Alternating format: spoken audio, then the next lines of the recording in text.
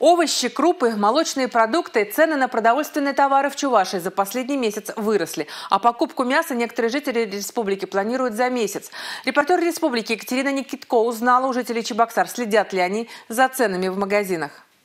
Повышается везде, сейчас повышается и в магазинах, и на базаре. Сегодня пойдешь, другая цена, завтра пойдешь, другая цена. В общем, все, все выросло незначительно. В принципе, мясо обычно выросло процентов, наверное, 15-20 точно. Мясо выросло. В магазинах картошка 39-40 рублей стоит. Удивительно. Ну, лук очень дорогой, так же, как и зимой, например.